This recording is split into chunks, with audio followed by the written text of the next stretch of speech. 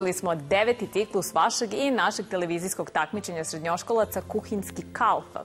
Učenici 17 srednjih škola iz Srbije predstavili su recepte koji donose mirise, običaje i ukuse kraja u kome su pripremani. A zbog situacije koju je diktirala pandemija virusa COVID-19, ovaj ciklus je trajao nešto duže, ali ćemo pobednike dobiti na isti način. Naš stručni žiri će od tri recepta, koje su dobile najviše vaših glasova na Facebook stranici, izabrati najzdravije, i najukusnije jelo devetog ciklusa sa jednim sastojkom specifičnim za kraj iz koga dolazi.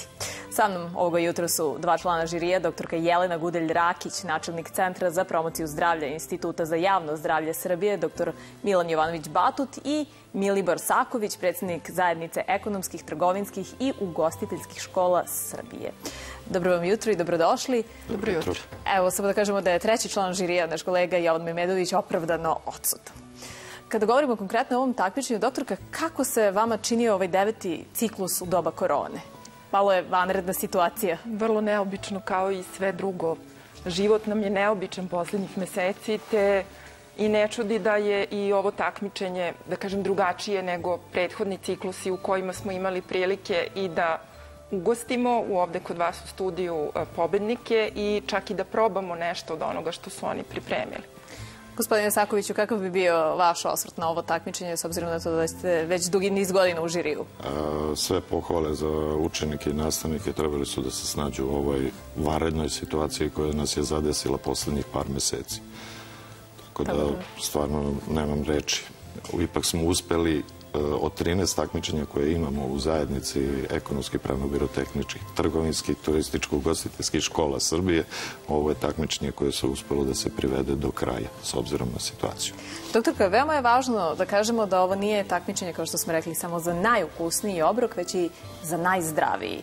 Pa kakva je situacija u Srbiji kod nas među mladima? Da li se oni pretežno nezdravo hrani ili smo polako počeli da se osvešćujemo? Pa recimo naše istraživanje ponašanja u vezi sa zdravljem dece školskog uzrasta u koje delimično spadaju i učenici koji su se takmičili, a koje je obuhvatilo decu uzrasta 11, 13 i 15 godina, kaže da više od 50% dece ipak svakodnevno doručkuje. Ono što zabrinjava jeste da, na primjer, sa porastom, e, sa starošću, odnosno što su stariji, to sve više preskaču doručak. Nedovoljno, nažalost, jedu voće i povrće, a svakodnevno bar petina koristi slatkiše i gazirana bezalkoholna pića. Te je ova, e, ovo takmičenje u stvari možda jedna od dobrih prilika i to stalno ponavljamo da se promovišu i pravilne navike u ishrani. Osim ovog takmičenja, postoje li i drugi načini promovisanja dobrih navika u ishrani? Naravno. Kako to promeniti? Naravno. Znači, mi kontinuirano radimo na unapređenju navika kada je u pitanju pravilna ishrana i već više od 20 godina imamo e, obeležavanje tokom oktobra meseca, meseca pravilne ishrane, tokom koga intenziviramo aktivnosti na promociji zdravih stilova života, između ostalog e, navika u pravilnoj ishrani. E, naše takmičenje je značajno skromnije od vašeg, ali uključujemo i predškolce i učenike osnovnih škola, koji tom prilikom e, crtaju i pišu na temu koja je svake godine drugačija, a koja se tiče pravilne ishrane. I evo da iskoristimo priliku što ste tu, da vas pitam s obzirom na to da smo i dalje u eri korone, e, da nam je potreban snažan imunitet, koliko hrana može da pomogne i šta je vaša preporuka? Kao i za sve, znate, kada ljudi pitaju za savet, obično negde u aprilu, maju, kako da oslabim da bi tokom leta mogao da nosim određeni komad garderobe ili da se spremim, na primjer, za matursko veče ili za letovanje. Tako i kada je u pitanju građanje imuniteta, on se ne gradi preko noći, pa se tako ni dijeta, odnosno kilogrami ne gube preko noći. To je, zato kažemo da e, pravilna ishrana treba da bude kontinuirana, odnosno da usvojene, jednom usvojene navike, pravilne navike kada je ishrana u pitanju, treba da budu doživotne. Kada je u pitanju konkretan savet, e, što više voća i povrća, integralnih žitarica, posna mesa i naravno da ne preskačemo obroke. Nikako. Gospodine Saković, ukoliko je ova ideja da učenici pripremaju obroke za svoje vršnjake danas ostvariva? Pa, ideja je savršena, to je ideja nije od juče, stara je možda decenijama unazad i mislim da bi to trebalo da zaživi u što kraćem mogućem periodu. Koliko se to njima čini obrazovanje zanimljivim? Pa, s tim što imamo s jedne strane obrazovanje, s druge strane imamo, e, verovatno će e, tržište učiniti svoje, pa će cena te hrane biti mnogo e, jeftinija nego inače što je tržišna cena. A da ne pričamo o ovom delu ovde koje je Jelena pričala, pa da bude i zdrava ishrana i predškolaca i osnovne škole, a možda i srednjoškolaca jednog dana. Evo, pomenuli ste srednjoškolce, mi sad govorimo o budućim srednjoškolcima. Imate li informaciju o tome koliko je interesovanje mladih za kulinarska zanimanja? A unazad godinama sva kulinarska zanimanja e, su vrlo tražena zanimanja e, i postala su prestižna.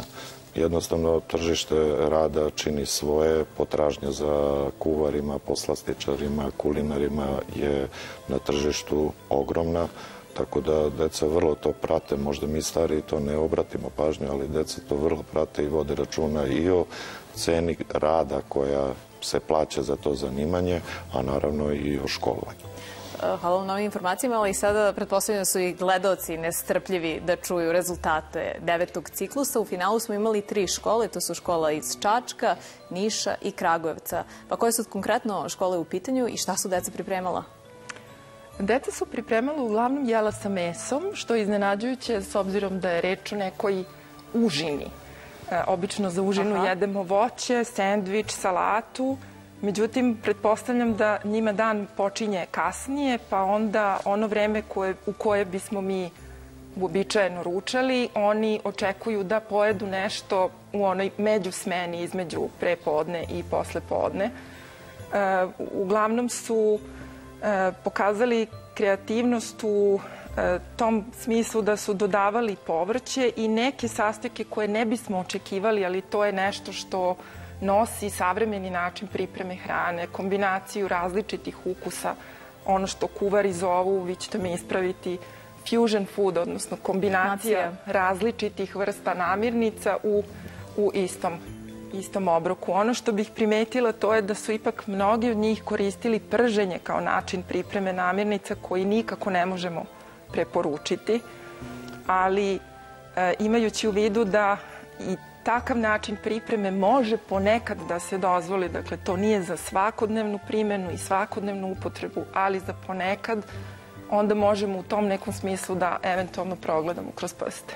Dakle, gospodine Sakoviću, imamo turističko-ugostiteljsku školu iz Niša. Tako Oni su je. pripremili musaku od zelja sa piletinom, je li tako? Uh, onda škola iz Čačka, prehrambena ugostiteljska škola iz Čačka.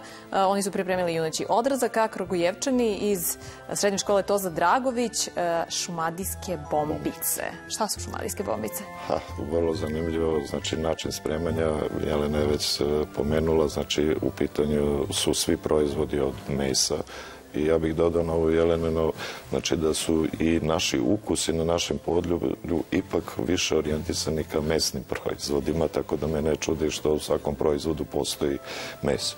E, jedan zanimljiv način spremanja meni se dopao, kažem, sva tri su stvarno e, izuzetna i zanimljiva, znači pokazali su vrlo veliku kreativnost i učenici i njihovi nastavnici. Tako da sve pohvale za sva tri recepta, naravno uvek nekog treba proglasiti za prvog, glasali smo kako smo glasali. Da, čuvamo rezultate glasanja. A vi ćete verovatno da mi saopštite zbirne rezultate. Evo, meni je kolega Medović dostavio svoje glasove. Dakle, ekipa iz Niša dobila je 100 poena, ekipa iz Čačka 20, a ekipa iz Kragovca 50 poena. Kako ste vi glasali? Jelena? Pa malo obrnutim, malo obrnutim Aha. redom. Ja sam glasala za e, školu iz Čačka sa najvećim brojem poena, potom za e, Znači 100 poena? Tako je, za e, šumadijske bombice sa 50 i za musaku sa 20. I za musaku sa 20. Nišlije su dobile 20 poena kod vas na trećem mestu. Gospodine Sakoviću? Ja ću sa zadnje strane juneći odrezak Čačak 20, 20 pojena, pojena. Musako od zelja sa piletinom Niš 50, 50 pojena i 100 pojena za Kragujevac šumadijske bombice. Za šumadijske bombice. Evo, zanimljiv rezultati naziv, takmičenjima stigao je taj trenutak.